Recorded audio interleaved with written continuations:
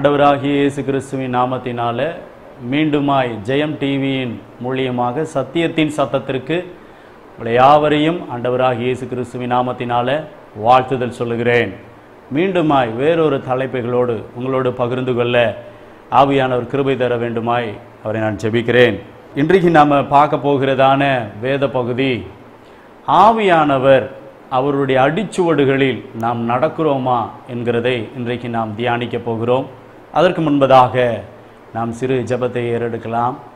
அன்புள்ள பிதாவே இந்த நல்ல வேலைக்காக நன்றியுள்ள இருதயத்தோடு நாங்கள் செபிக்கிறோம் ஆண்டவரே இந்த வேலைகளில் ஆவியானவருடைய அடிச்சுவடுகளில் எங்களை நடத்தும்படியாக எங்களை அர்ப்பணிக்கிறோம். கேட்குற ஒவ்வொரு உள்ளங்களிலும் அவிதமாக செயல்படுத்த அவையானவர் கிருபை தர வேணுமாய் நாங்கள் செபிக்கிறோம் ஆண்டவரே. எல்லா விதமான மாம்சத்தின் கிரியைகளை அழித்து ஆவியானவர் எங்கள் நடுவில் நீங்கள் வெளிப்பட வேணுமாய் நாங்கள் ஜெபிக்கிறோம். பெரிய காரியங்களை செய்யுங்க. இயேசுவின் மூலம் ஜெபிக்கிறோம் பிதாவே. ஆமேன். வாசிக்க வேண்டிய வேத பகுதி ரெண்டு கொருந்தியரின் புஸ்தகம் பன்னிரெண்டாவது அதிகாரம் பதினெட்டாவது வசனத்தை நான் வாசிக்கிறேன். தீத்து உங்களிடத்தில் வரும்படி நான் அவனை கேட்டுக்கொண்டு அவனோடு கூட ஒரு சகோதரனை அனுப்பினேன். தீத்து உங்களிடத்தில் ஏதாவது பொழிவை தேடினானா? நாங்கள் ஒரே ஆவி உடையவர்களாய் ஒரே அடிச்சுவடுகளில் நடந்தோம் அல்லவா? இதை இன்றைக்கு நாம் தியானிக்க போகிறோம்.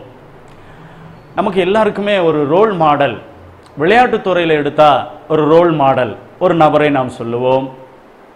பிஸ்னஸை எடுத்தால் ரோல் மாடல் ஒருத்தரை சொல்லுவோம்.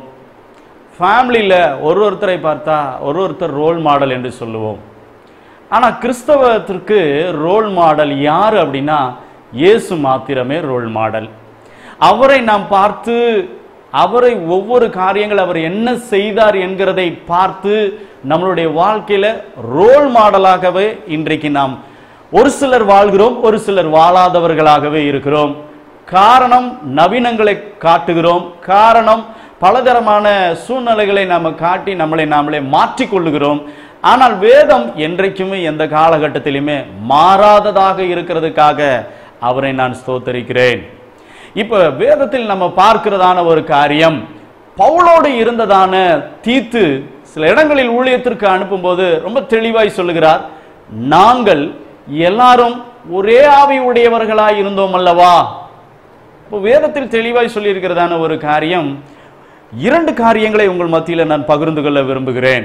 ஒன்று ஊழியத்தோடும் இரண்டு குடும்பத்தோடும் ஆவியை பெற்றதான நாம் அதன் அடிச்சுவடுகளின்படி நடக்கிறோமா என்பதை சற்று நாம் ஆராய்ந்து பார்க்கலாம் நிதானித்து பார்க்கலாம். ஆதி அப்போஸ்தலர்கள் மேல் வீட்டு அறையில் காத்திருக்கும் பொழுது பரிசுத்த ஆவியானவரை அவர்கள் பெற்றுக்கொண்டார்கள். பெற்றுக்கொண்ட யாவரும் ஒரே ஆவியை பெற்றுக்கொண்டதான் அவர்கள் எல்லாரும் ஒரே காரியங்களை செயல்படுத்தினார்கள் ஊழியத்தில். இன்றைக்கு நம்மளுடைய ஊழியத்தில் ஒரே ஆவி உடையதான ஊழியர்கள் இருக்கிறார்களா என்பதை சற்று யோசிப்பாருங்கள் வேதத்தில் மட்டும்தான் ஒரே ஆவியை பெற்றதான அவர்கள் பல கிரியைகளை ஆவியானவர் அவர்கள் ஊழியத்தில் செயல்படுத்தினார். இன்றைக்கு நம்மளுடைய ஊழியத்தில் அசிஸ்டண்டா இருக்கிறதான உதவி ஊழியர்களை கூட அற்பமாய் நினைத்து கொண்டிருக்கிறதான இந்த காலகட்டத்தில் வேதம் உங்களுக்கு தெளிவாய் சொல்லியிருக்கிறது. ஒரே ஆவி உடையவர்களாக அன்றைக்கு அவர்கள் இருந்தார்கள். ஆனால் இன்றைக்கு நாம் ஒரே ஆவி உடையவர்களாக இருக்கிறோமான்னு கேட்டால் தெரியல. ஆராய்ந்து பாருங்கள். ஒரே ஆவி பரிசுத்த ஆவியானவரை பெற்றுக்கொண்ட நாம் அவர் சொல்லுகிற விதமாக ஊழியத்தில் இருக்கிறோமா என்பதை சற்று நிதானித்து ஆராய்ந்து பாருங்கள். வேதத்தில் தெளிவாக பவுல் சொல்லியிருக்கிறதான அநேக காரியங்களை நம்ம பார்க்கிறோம்.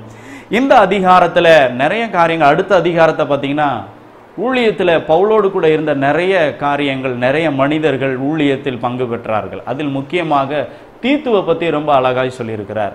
உங்களிடத்தில் யாதொரு பொழிவை நாடினது உண்டானால்? ஏன்னா அவர்கள் எல்லாரும் பரிசுத்த ஆவியானவரை பெற்றுக்கொண்டு ஒரே அடிச்சுவடுகளில் நடந்தார்கள். இன்றைக்கு நாம் நம்மளுடைய வாழ்க்கையில் அப்படி ஒரே அடிச்சுவடுகளை ஆவிகளை பெற்று பரிசுத்த ஆவியானவரை பெற்றுக்கொண்ட நாம் ஒரே அடிச்சுவடுகளை நடக்கிறோமா வாழ்கிறோமா என்பதை சற்று யோசித்து பாருங்கள். அப்போ ஊழியத்தில் ரொம்ப முக்கியமான ஒரு காரியம் என்ன அப்படின்னா நான் நிறைய ஊழியங்களை செய்திருக்கிறேன் நிறைய காரியங்களை ஸ்தாபிச்சிருக்கிறேன். அது பெருசல்ல. வேதம் தெளிவாய் சொல்லியிருக்கிறது எல்லா ஊழியர்களும் சேர்ந்து ஒரு ஆவியை பெற்றிருக்கிற ஒரு அடிச்சுவடுகளை பெற்றிருக்கிறவர்களாக இருக்கிறோமா என்பதை நிதானித்து பாருங்கள். அப்போ வேதம் தெளிவாய் சொல்லியிருக்கிற ஒரு விஷயம் ஒரே அடிச்சுவடுகளை அவர்கள் வாழ்ந்தார்கள். இன்றைக்கு பல ஊழியங்கள் பல காரியங்கள் என்கிட்ட இரநூறு பேர் இருக்கிறாங்க முந்நூறு ஊழியர்கள் இருக்கிறாங்க நானூறு ஊழியர் இருக்கிறாங்க என்று சொல்லிக் கொள்வதில் ஒரு பெரிய சந்தோஷமே அல்ல வேதத்தை பொறுத்தவரை. ஏனென்றால் எல்லாருக்குள்ளேயும் ஒரே ஆவி இருக்கிறதா என்பதை நிதானித்து பாருங்கள். இன்றைக்கு நமக்குள்ள மாம்சத்தின் ஆவியும் இருக்கிறது உலக ஆவியும் இருக்கிறது. இவைகள் ஊழியத்தை ஆளுகை செய்கிறதா அல்லது ஆவியானவர் என்னுடைய ஊழியத்தில் ஆளுகை செய்கிறாரா என்பதை யோசித்து பாருங்கள். அன்றைக்கு பவுல் கொரிந்து பட்டணத்துக்கு அனுப்பும் பொழுது ஏதாவது பொழிவை தேடினானா? இன்றைக்கு தீர்க்கதரிசிகள் என்று சொல்லிக் கொண்டு இருக்கிறார்கள். தீர்க்கதரிசிகள் எல்லாரும் எப்படிப்பட்ட காரியங்களை செயல்படுத்துகிறார்கள் என்பதை நிதானித்து பாருங்கள். நிறைய பேர் நாம கற்றுக்கொள்கிற ஒரு விஷயம் என்னன்னா தீர்க்கதரிசி என்றால் அவ்வளவுதான் அவ்வளோ ஒரு பயத்தோட நடுக்கத்தோடையும். ஆனால் என் வேதம் சொல்லுகிறது எல்லாம் பட்சிக்கிற ஓநாய்களாய் இருக்கிறார்கள் என்றது வேதம் தெளிவாய் சொல்லி இருக்கிறது வாசிக்கலாம். எசேக்கியல் இருபத்தி இரண்டாவது அதிகாரம் முப்பதாவது வசனத்தை நான் வாசிக்கிறேன். நான் தேசத்தை அழிக்காதபடிக்கு திறப்பிலை நிற்கவும் சுவரை அடைக்கத்தக்க ஒரு மனுஷனை தேடினேன் ஒருவனையும் காணேன். இது நிறைய உபவாச ஜபத்தில் தேசத்தில் திறப்பில் நிற்கிறேன் திறப்பில் நிற்கிறேன் அப்படின்றலாம் சொல்லி கொண்டு இருக்கிறாங்க இந்த தேசம் ஓட்டையானதுக்கு மூன்று பேர் காரணம். என்ன காரணம்? பவுல் சொல்கிறார் தீத்து உங்களிடத்தில் யாதொரு பொழிவை நாடினது உண்டானா? ஏன்னா ஒரே ஆவி உடையவர்களாய் அவர்கள் இருந்தார்கள் ஊழியம் செய்தார்கள். இன்றைக்கு நாம் எப்படி இருக்கிறோம் என்றால் ஜனங்கள் மத்தியில பொழிவை நாடுகிறவர்களாக இருக்கிறோம். ஏனென்றால் வேதம் தெளிவாய் சொல்லி இருக்கிறது அவ்விதமாக அவர்கள் செய்கிறார்கள். செய்தார்கள் இஸ்ரேல் ஜனங்களுக்கு நடுவா. என்ன அப்படி என்று பார்த்தீங்கன்னா இருபத்தி மூன்றாவது வசனத்திலிருந்து தெளிவாக ஆவியானவர் பேசுகிறார். கர்த்தருடைய வார்த்தை எனக்கு உண்டாகி. அவர் மனுபுத்திரனே நீ தேசத்தை பார்த்து நீ சுத்தம் பண்ணப்படாத தேசம். கோபத்தின் காலத்தில் மழை பெய்யாத தேசம் என்று அதற்கு சொல் சொல்லு. அதில் உள்ள தீர்க்கதரிசிகள் முதலாவது முன்னாடி நம்ம பார்த்தது போல தீத்து ஏதாவது ஒரு பொழிவை நாடினானா என்று நாம பார்த்தோம் அல்லவா? இன்றைக்கு பிரபலமாய் காணப்படுகிறது என்னன்னா எல்லா இடத்துலையும் தீர்க்கதரிசி தீர்க்கதரிசி தீர்க்கதரிசி தீர்க்கதரிசிக்கு அதிகமாக இம்பார்ட்டன்ட் கொடுக்கிறதான உங்களை பார்த்து வேதம் தெளிவாக கேட்கிறது. அழகா சொல்லியிருக்கிறார். அதில் உள்ள தீர்க்கதரிசிகள் அதன் நடுவே கட்டுப்பாடு பண்ணுகிறார்கள். கெட்சிக்கிற சிங்கம் இறை கவ்வுகிறது போல ஆத்துமாக்களை கவ்வுகிறார்கள். அது மாத்திரமல்ல ஆத்துமாக்களை கவ்வுகிறது மாத்திரமல்ல ஆத்துமாக்களை பட்சிக்கிறார்களாம். திரவியத்தையும் விலை உயர்ந்த பொருட்களையும் வாங்கி கொள்ளுகிறார்கள். அதன் நடுவே அதன் நடுவில் அநேக விதவைகளாய் இருக்கிறார்கள். விதவைகளாய் இருக்கிறார்கள். இப்படி தீர்க்கதரிசிகள் மீண்டுமா இருபத்தெட்டுல சொல்லி இருக்கிறது ஒன்று தீர்க்கதரிசி இரண்டாவது ஆசாரியன் மூன்றாவது பிரபுக்கள். இவர்கள் எல்லாம் ஜனங்கள் நடுவில் பொழிவை தேடினவர்கள் ஆதாயத்தை தேடினவர்கள் என்று வேதம் தெளிவாய் சொல்லி இருக்கிறது இன்றைக்கு தீர்க்கதரிசி என்று சொல்லி நம்மளுடைய சபைகளில் ஏற்றுக்கொள்கிறோம் பலதரப்பட்ட காரியங்களை சொல்லி இருக்கிறோம் ஆனால் நல்லா புரிஞ்சுக்குங்க. இந்த டிவியின் மூலியமாய் பார்த்து கொண்டிருக்கிறோம். இதில் யார் ரெபேக்கா என்று தெரியாது. யார் எசேக்கியல் யார் ஏசையாங்கிறது தெரியாது. மகனே உன்னோடு கர்த்தர் பேசுகிறார் என்று சொல்லுகிறோம். இது எவ்விதமான காரியம் என்பது எனக்கு தெரியவில்லை. ஆனால் வேதம் தெளிவாய் சொல்லிக்கிறது இவங்க மூன்று பேருனால தான் தேசமே ஓட்டையாக போயிடுச்சு யாரால்? முதல்ல தீர்க்கதரிசி ரெண்டாவது ஆசாரியன் மூன்றாவது பிரபுக்கள். இவர்களால தான் தேசம் ஓட்டையாய் போயிருச்சு. அப்ப இவர்கள் என்ன செய்தார்கள் என்றால் பொழிவை தேடினார்கள். பலதரப்பட்டதான மனிதர்களை பட்சிக்கிறது போல இதை வந்து செஞ்சா எனக்கு இவ்வளவு பணம் வேணும். இதை வந்து செஞ்சா எனக்கு இவ்வளவு காசு வேணும். இது வேணும் அது வேணும்னு பொழிவை நாடுகிறதான ஊழியத்திற்கு மத்தியில வேத வசனம் ஒவ்வொரு நாளும் வீணாய் போய் கொண்டிருப்பதை சற்று யோசித்து பாருங்கள். வேதம் தெளிவாக சா- காண்பித்திருக்கிறது. இவர்களுக்கு மத்தியில பவுல் மீண்டும் அழகாய் தன்னுடைய இருந்ததான ஊழியனை உருவாக்கினார். எப்படி உருவாக்கினார்? சத்தியத்தை சத்தியமாக அவன் பிரசங்கித்தான். எப்படி பிரசங்கித்தான் தெரியுங்களா?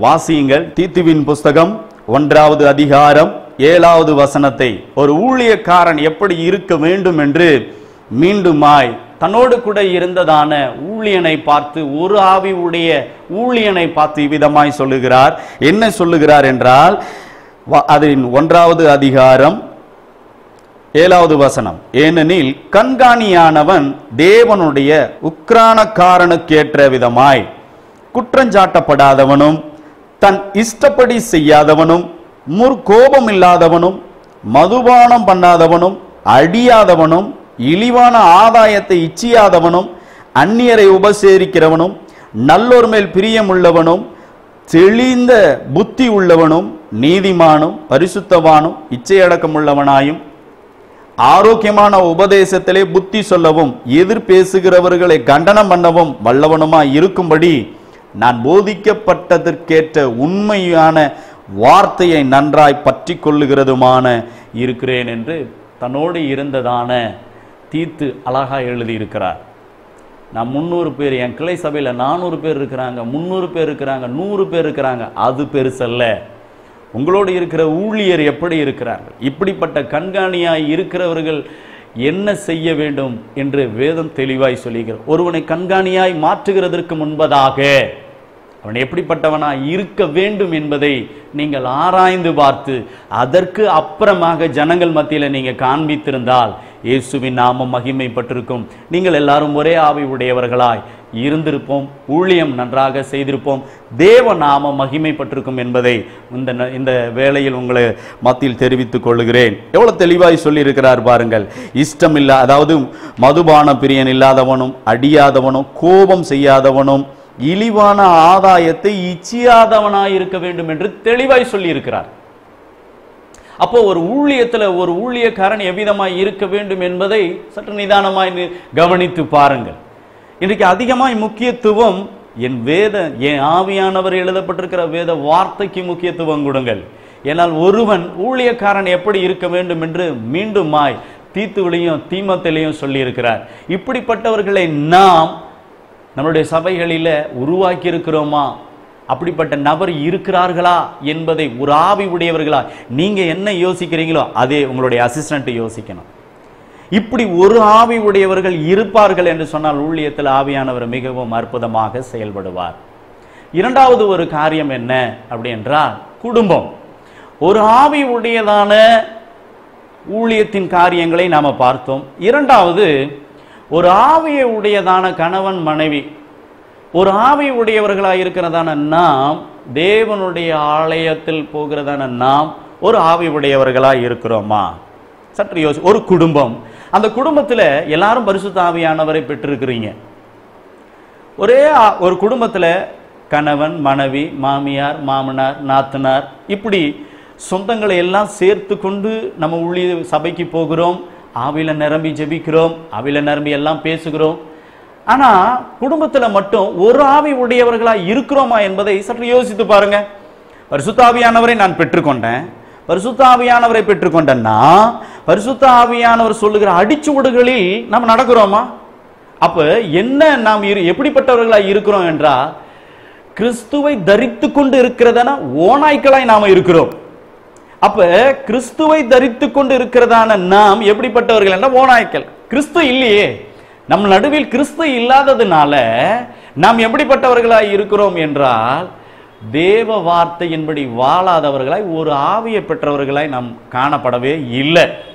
அப்போ ஒரு ஆவி பெற்றவர்கள் எப்படி இருக்க வேண்டும்? ஒரு கணவன் மனைவி எப்படி இருக்க வேண்டும்? அவர்கள் பரிசுத்தாவியானவரை பெற்றுக்கொண்டார்கள். இவரும் பரிசுத்தாவியானவரை பெற்றுக்கொண்டார். ரெண்டு பேரும் பரிசுத்தாவியானவரை பெற்றுக்கொண்டதான நாம் நம்மளுடைய வாழ்க்கையில குடும்ப வாழ்க்கையில எப்படி இருக்கிறோம்? ஒண்ணுமே இல்லையே. ஒரு அடிச்சுவடுகளை நாம நடக்கலையே. எந்த அடிச்சுவடுகள் அப்படின்னா தேவன் சொல்லி இருக்கிறதான அந்த அடிச்சுவடுகள். அது அழகா பேதுரு சொல்லி இருக்கிறார் ஒன்னு பேதுருவின் புஸ்தகம் இரண்டாவது அதிகாரம் இருபத்தி ஓராவது வசனத்தில் பேதர் மீண்டும் அழகாய் தெளிவாய் சொல்லியிருக்கிறார்.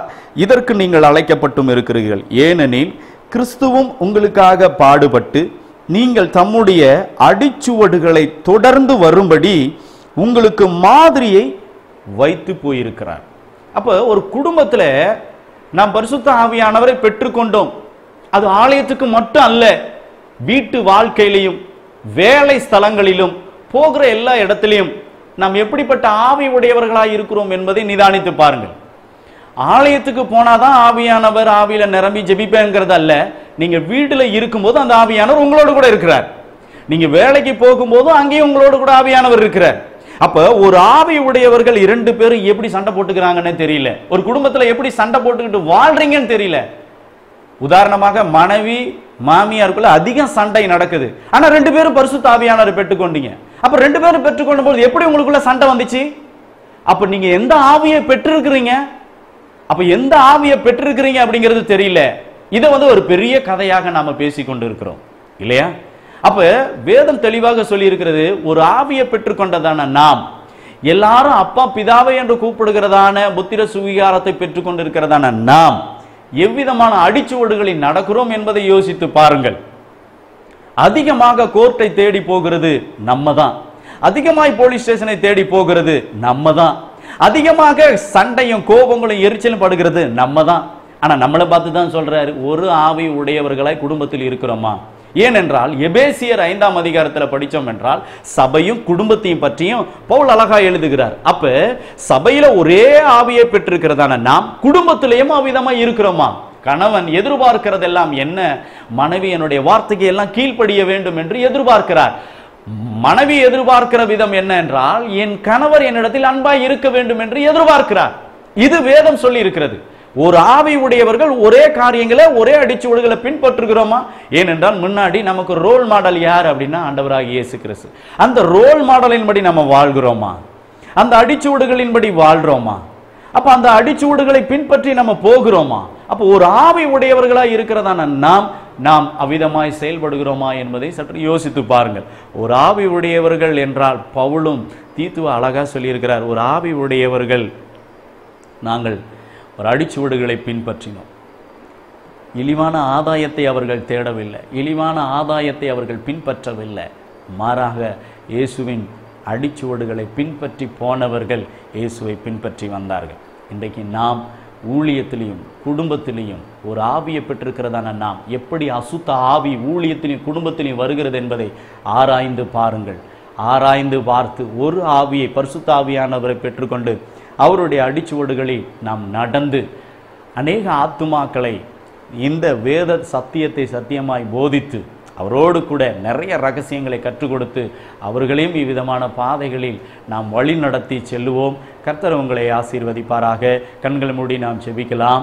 கிருபையுள்ள நல்ல ஆண்டவரே நாங்கள் வேதத்தில் பார்த்த விதமாக ஒரு ஆவியை பெற்றுக்கொண்டதான நாங்கள் ஏதாவது ஒரு பொழிவை தேடினது உண்டானால் ஆண்டவரை எதுவுமே தேடாதபடிக்கு ஆண்டவரை உண்மையை பின்பற்றி சென்றதான ஆண்டவரை அவர்கள் ஆண்டவரை பவுலும் தீத்தும் ஆண்டவரை பவுலோடு இருந்த அநேக மனிதர்களும் ஆண்டவரே உண்மையே பின்பற்றி போனது போல இந்த காலத்திலும் ஆண்டவரை உண்மையே பின்பற்றி வர நாங்கள் எல்லாரும் பரிசுத்த ஆவியானவரை பெற்றுக்கொண்டு என்று சொல்லுகிறோம். ஆனால் உலகத்துக்குரிய ஆவிகளின்படியே நாங்கள் நடக்கிறோம். அப்படி அல்ல உங்கள் ஆவியை பெற்றுக்கொண்டு உண்மையும் உத்தமத்தோடும் நடப்பதற்கு கர்த்தர் எங்களுக்கு கிருபை தர வேணுமாய் செபிக்கிறோம் கேட்குற யாவரையும் ஆண்டவரே உம்முடைய பரிசுத்த ஆவியானவரின்படி அவர்கள் வாழ அர்ப்பணிக்க கிருபை தாங்க. பெரிய காரியங்களை செய்யுங்க. இயேசுவின் மூலம் ஜெபிக்கிறோம். எங்கள் பரிசுத்தமும் ஜீவனும் நல்ல தகப்பனே. ஆமேன். மீண்டுமாய் இந்த ஒரே பரிசுத்த ஆவியானவரை பெற்றுக்கொண்ட நாம் அவருடைய அடிச்சுவடுகளில் நடக்கிறோமா என்று யோசித்து பாருங்கள். இன்னைக்கு அநேக விதமாய் மனிதர்கள் அநேக பொழிவை தேடுகிறார்கள். ஆனால் வேதம் சொல்லியிருக்கிறது ஒரே ஆவியை பெற்றதான நாம் அவருடைய அடிச்சுவடுகளில் வேதம் சொல்லியிருக்கிறதான அடிச்சுவடுகளில் நாம் பின்பற்றி நடக்கிறோமா வாழ்கிறோமா ஊழியத்திலும் குடும்பத்திலும் எப்படி இருக்கிறோம் என்பதை ஆராய்ந்து பார்த்து விட வேண்டிய காரியங்களை விட்டு சத்தியத்தின் சத்தத்திற்கு படி வாழ உங்களை அர்ப்பணியுங்கள். கர்த்தர் உங்களோடு பெரிய காரியங்களை செய்வார். ஜெயம் டிவி நேயர்களுக்கு யாவரையும் ஆண்டவராக இயேசு கிறிஸ்து நாமத்தினால வாழ்த்துகிறேன். கர்த்தர் உங்களோடு இருந்து ஒரே ஆவி உடையவர்களாய் ஒரே அடிச்சுவடுகளை நடக்கிறவர்களாய் இருப்போம். தேவ ராஜ்யத்தை கட்டுவோம். கர்த்தர் பெரிய காரியங்களை செய்வாராக. ஆமேன்.